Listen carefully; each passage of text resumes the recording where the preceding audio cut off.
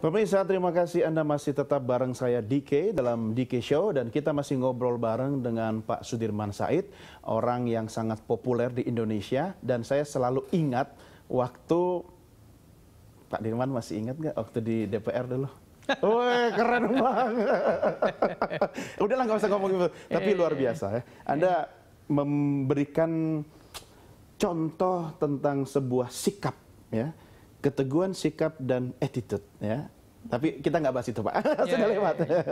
Artinya move on, move on lah. Ah ya pak. Cuma saya tetap terkesan pak, ya kan.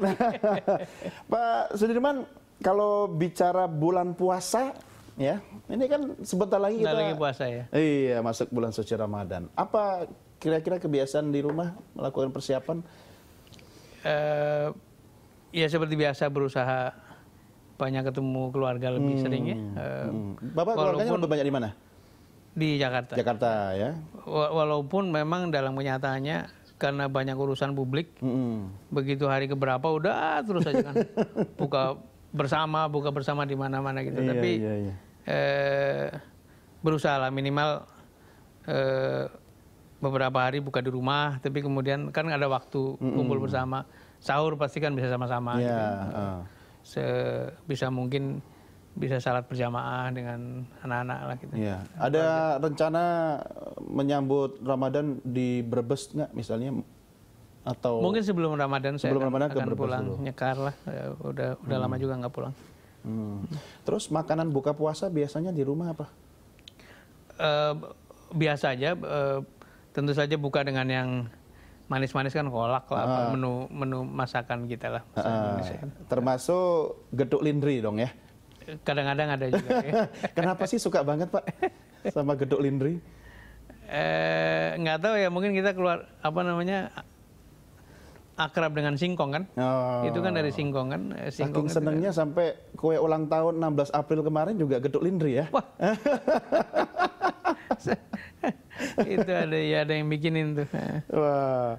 Oke Pak, ini bulan puasa juga tentu kebutuhan masyarakat ya akan mengalami peningkatan, apalagi menyambut hari raya. Apa sebenarnya yang menjadi kaitan antara, saya tidak tahu nanti mungkin tim sinkronisasi juga bisa menginformasikan kepada gubernur dan wakil gubernur sehingga Ramadan berikutnya ya kan mungkin ada perubahan atau melakukan persiapan hal seperti apa Pak? Ya kalau Ramadan ini kan sebentar lagi masuk dan Hmm. eh, masih domainnya Pak Gubernur yang lama ya. Iya. Eh, tapi benar sekali bahwa kita ingin belajar bagaimana menjaga harga-harga supaya stabil Hmm. dan ini tim tim kita juga lagi eh, memonitor pasar. Kan biasa tuh menjelang Ramadan tuh selalu ada Gejolak. ada gejolak atau ada eh, tapi saya dengar nih tahun ini cukup baik katanya. Nah kita kepengen tahu apa yang menjadi penyebab dari eh, kenaikan harga umpamanya gitu. Nah, karena itu untuk dilakukan measure atau pencegahan atau eh, treatment pada waktu Ramadan berikutnya ke depan. Ya, tentu lebih bagus lagi kalau memang komunikasinya intensif ya Pak ya dengan tim sinkronisasi dengan PLT Gubernur sekarang ya dengan Pemprov sekarang dengan Pak Anies Sandi gitu kan. Nah, bagaimana mekanisme komunikasi antara tim sinkronisasi ini dengan gubernur dan wakil gubernur terpilih dengan Pemprov sekarang ini? Iya.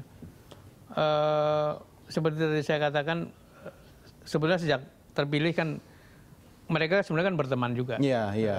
Kalau WA-WAN mah pasti Iya, lah ya. pada waktu kampanye juga Iya. eh, walaupun di panggung apa eh, Berbeda kubu, kelihatan ah. ber- berbeda Tapi tapi, sebenarnya sebenarnya berteman. Hmm. Jadi eh, saya punya keyakinan secara informal juga mereka komunikasi, tapi memang Hmm. formality belum terjadi dan eh, saya harapan saya nanti begitu Pak Anies dan Pak Sandi sudah ketemu, kemudian habis itu kita diperkenalkan. Hmm. Nah begitu dibuka pintu kan enak langsung kita bisa eh, apa minta ketemu dengan unit-unit yang di bawahnya Iya, iya. SKPD SKPD itu. Nah kepada Pak Gub dan Wagub karena kan memang dikandung maksud dengan dibentuknya tim ini tuh jadi beliau punya instrumen lah untuk me- menyiapkan. Jadi kita lapor secara berkala lah perkembangan-perkembangan.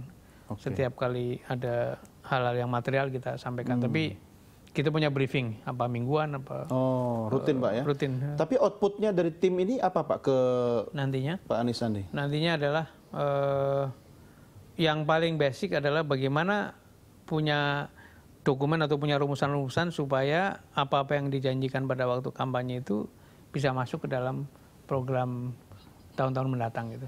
Anggaran 23 program itu harus bisa Iya. masuk semua ya?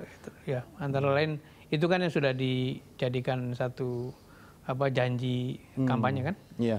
Nah, tapi tentu saja kita juga tahu bahwa eh, isinya kan tidak hanya itu Betul. eh, mengurus Jakarta. Jadi makanya tadi kata sinkronisasi menjadi penting. Bagaimana yang sudah berjalan sekarang yang sudah baik itu kemudian bisa di, Iya, iya. di- diselaraskan dengan Betul. yang ada. Iya.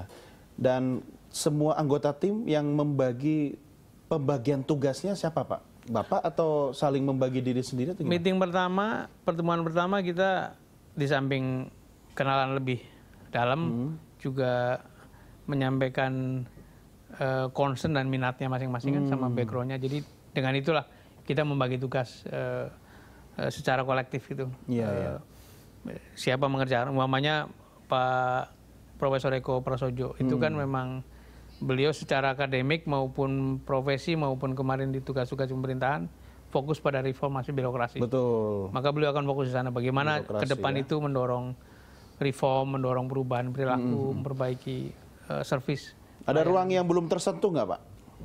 Eh, kita belum tahu karena kita baru mulai kerja seminggu kan.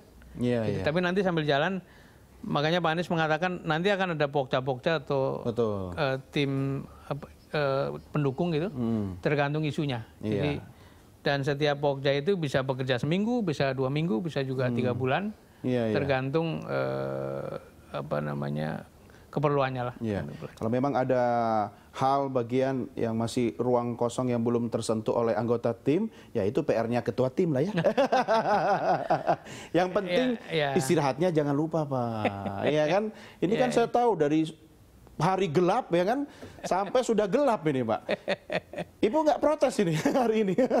ya saling ngerti lah pokoknya saling ngerti. Oke, oke Pak, kita break lagi pemirsa. Jangan ke mana-mana, kita masih ngobrol bareng dalam DK Show.